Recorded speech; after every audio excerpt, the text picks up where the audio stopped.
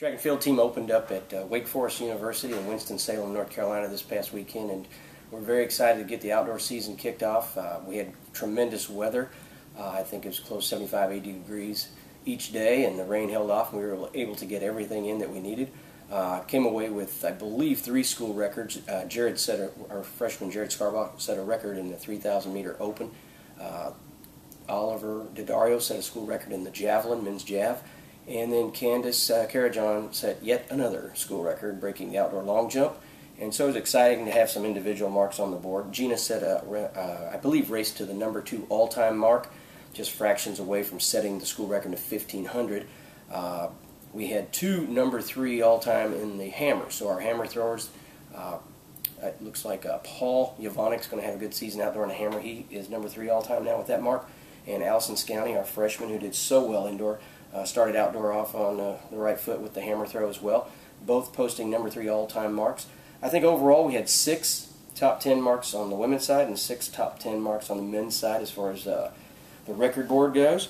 And so that's pretty exciting. Uh, Gina Valgoy was a tremendous competitor, and I, I think the way Gina competed is the way I would like to see every person on our roster compete in their respective event.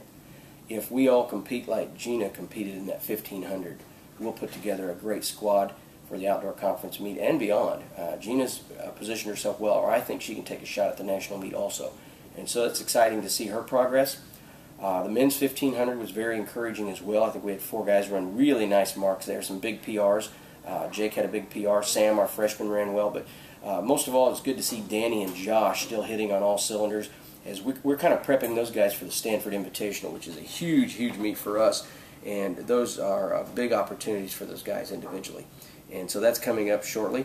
Uh, as far as the upcoming meets, we got the Raleigh Relays coming up with a, a, a pared down squad. We're not going to have everybody at the Raleigh Relays, uh, but we'll follow Raleigh Relays with the Missouri Invitational, then the Iowa Invitational. Of course, we'll wrap up with the regular season with the Drake Relays, which is a tremendous event. And we'll try to run some hot relays over there. Uh, few other things uh, regarding this past weekend. We were uh, we rested a few athletes and didn't get everyone going yet, so I'm excited to see what we can do in the upcoming meets, especially these big meets and competitions. Uh, very excited about our long throws. We were able to get our javelin throwers out there, our hammer throwers out there, and our discus throwers out there, who mean a lot to our team as far as what we're going to be able to accomplish in May when we uh, head to the Horizon League Outdoor Meet. So overall, it was a, a great season opener. Uh, still a long way to go, but uh, very encouraged.